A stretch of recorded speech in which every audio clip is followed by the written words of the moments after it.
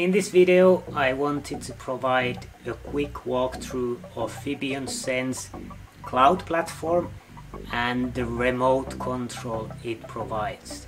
So with Fibion SENS you can collect over 15 weeks of data with, with one charge and you can control the devices remotely and data flows from the sensor to smartphone and to cloud automatically and you can check that everything is going alright with your measurements and you can start analyzing data before you get the device back from the participants.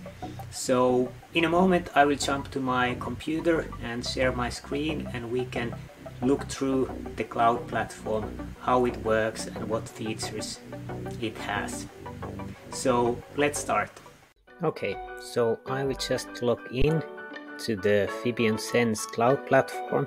I can see here all the devices that I have and I can for example click one of the devices and then I can see that there is data being measured so person have gone to run and then been doing measurement.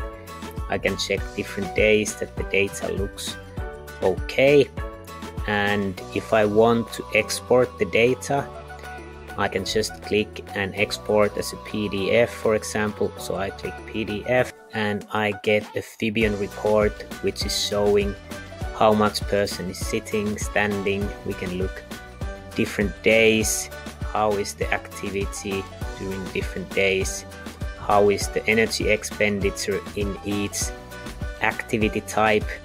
And also there is goal setting tool where the participant can set goals for next measurement.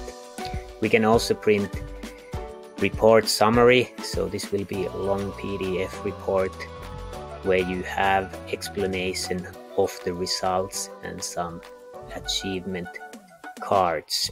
You can also export the data as a CSV and the CSV file you can open for example in Excel and you will have different activity types and how much person were doing those activity types in different parts of the measurement. And then if you want to look for acceleration signal, so you will have XYZ acceleration signal.